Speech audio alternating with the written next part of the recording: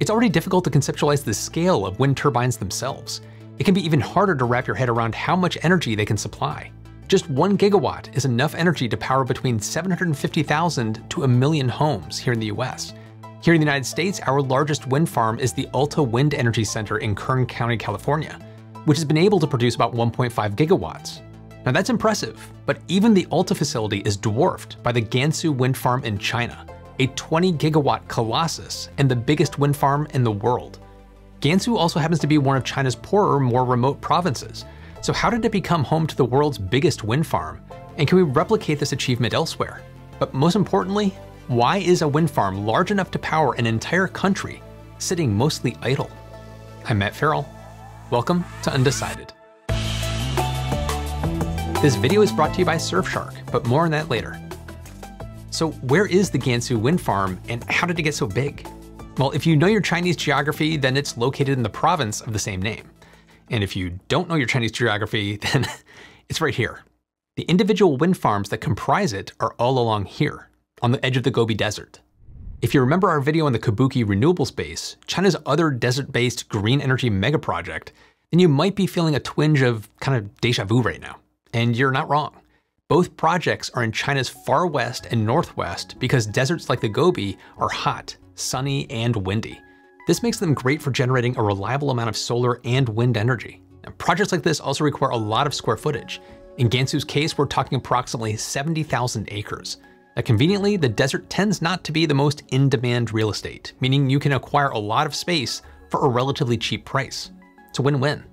Now, another commonality between Gansu and Kubuqi is their decentralized nature. In both cases, we're not talking about a single green energy generation facility, but several larger ones all connected into the same network.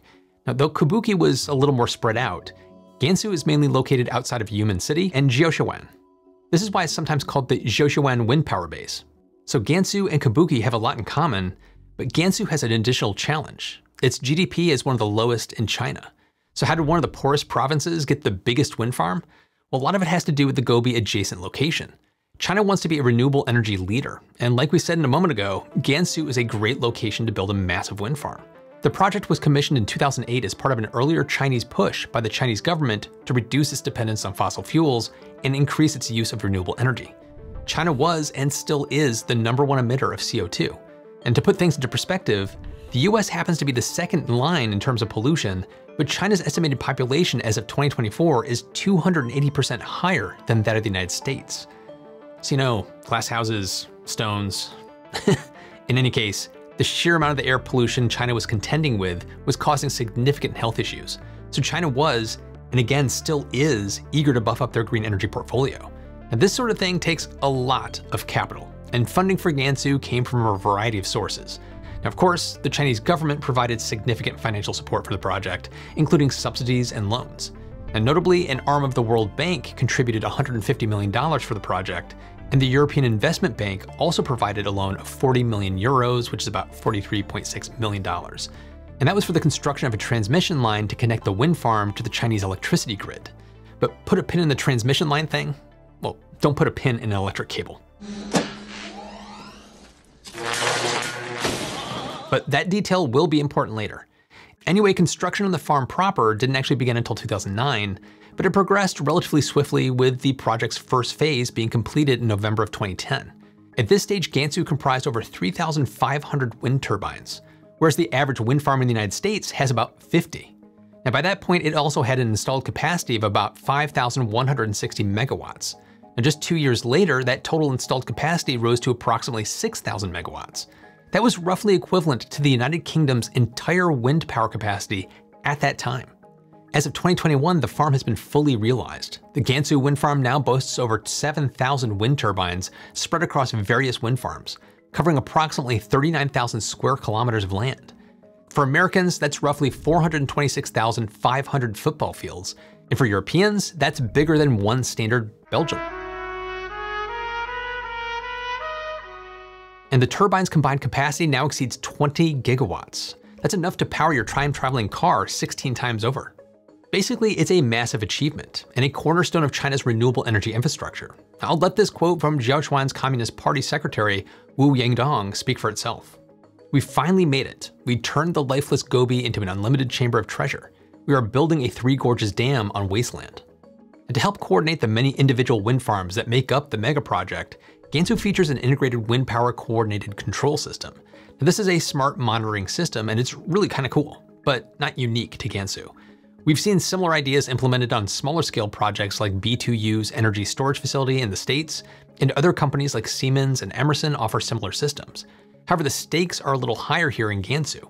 You see, for most of its life, the wind farm was producing too much energy for the local grid.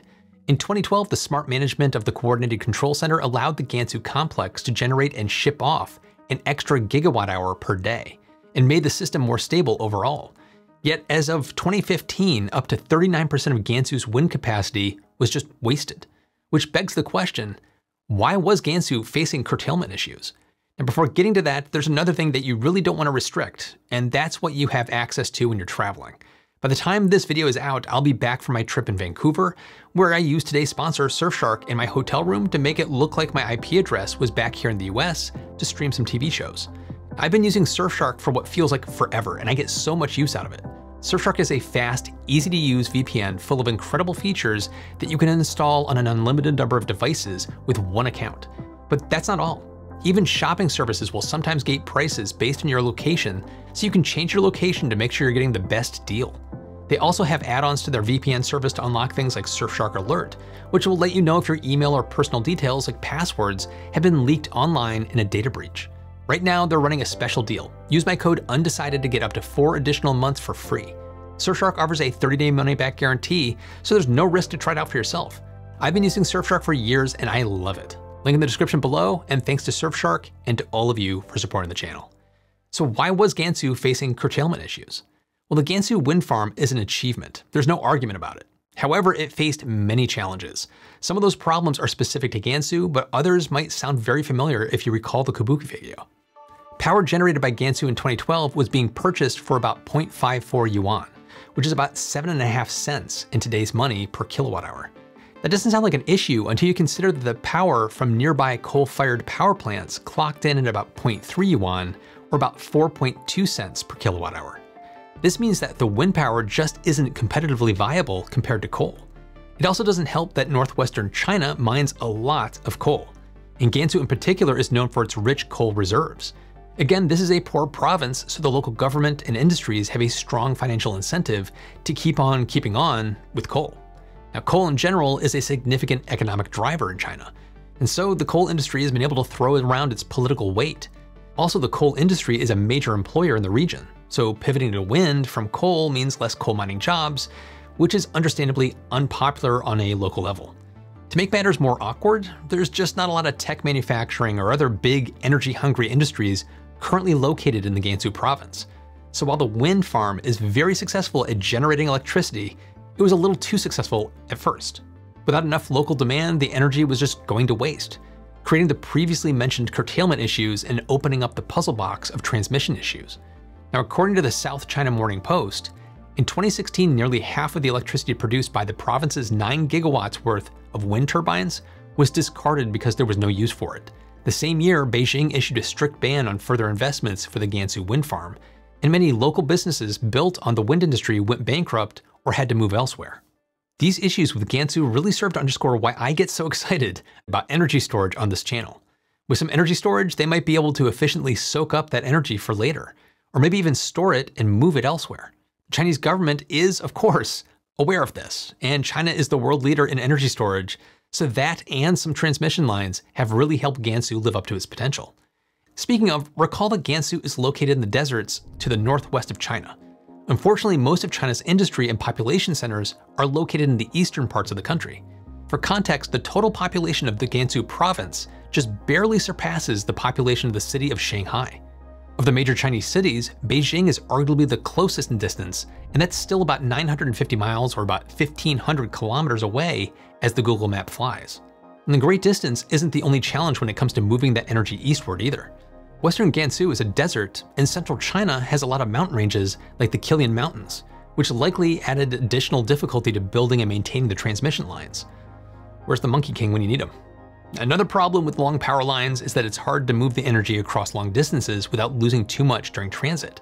So the province is in the process of building several high voltage direct current HVDC transmission lines to send more than 30% of the wind energy to cover 20 provinces. Now, while this is a solution, it's not necessarily an elegant one. These top of the line transmission lines weren't cheap to build, nor are they cheap to maintain. Plus, some power is lost in transit, and over such a great distance, this can really add up. Altogether, transmission is a major factor in the cost of delivering wind power. Of course, transmitting some of that green energy to where it needs to go is still a much better solution than just letting it go to waste or using energy from fossil fuels. And because it's so difficult to get the power to the companies, Gansu has also invited the companies to come to the power. Huawei in particular was name dropped as a company that's been invited to build large data centers near the farm. And this makes sense at first blush. After all, desert real estate is cheap, and there's plenty of room in Gansu for big tech. But the challenges of Gansu persist. The province is very remote, on top of this, the harshness of the desert environment makes developing projects difficult. So it's just not very appealing for those big tech companies to set up shop there. On the other hand, Gansu Governor Ren Zhenhe told the South China Morning Post that his region is being, quote, overwhelmed by the number of companies seeking wind power deals. Now, I haven't been able to corroborate any such deals, but it's possible that they're either just haven't been made public yet or haven't crossed over to the English speaking side of the internet yet. Now, the biggest challenge for Gansu might be yet to come though offshore wind farms closer to the population centers in coastal China are continuing to grow, both in farm size and individual turbine size. We've covered some of these giants on the channel before. Will demand ever rise up to meet Gansu's productivity with these closer, bigger wind farms popping up? That's the big question. And despite these sometimes literal mountains of challenges, let me remind you that the Gansu wind farm is a success story. In 2020, the ban on wind energy investment in Gansu was lifted, and by 2021, despite COVID related hiccups, the efficiency of the farm's renewable energy rose to 95%. China hasn't stopped constructing renewable energy resources and the power lines that get them to where they need to go. So fossil fuels now make up less than half of China's total installed generation capacity. That's pretty stunning when you consider that just a decade ago, fossil fuels made up two thirds of their capacity. Heck, earlier this year, they started construction on another transmission project like Gansu in Zhejiang province on the east coast. The Gansu wind farm and its cutting edge power lines are the exact type of green energy mega project I'd like to see replicated here in the US and elsewhere around the world.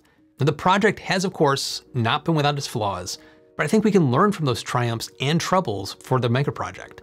The key takeaways are that project developers need to make sure that either the demand for so much energy is already there, which is kind of easy, or that the infrastructure to get the power to where it needs to go grows along with the power plant. And that's less easy. Untangling the wants, needs, and hopes of local communities with the greater goals is always going to be kind of tricky. But I'll be posting an in-depth exploration of that topic myself in the near future, so stay tuned. Now, ultimately, I hope China doesn't let these speed bumps hinder the very impressive green energy momentum that they're accruing. And I hope the rest of us can take lessons learned from Gansu and apply them to our own wind energy projects. If we're going to hit our 2030 or even 2060 climate goals, there's not a lot of time to waste. But what do you think? Do you think other countries like the US can and should replicate the success of what China's doing? Jump in the comments and let me know. And be sure to listen to my follow-up podcast, Still to be Determined, where we'll keep this conversation going. And thanks as always to my patrons for your continued support, and a big welcome to my new producer, Sandy. I'll see you in the next one.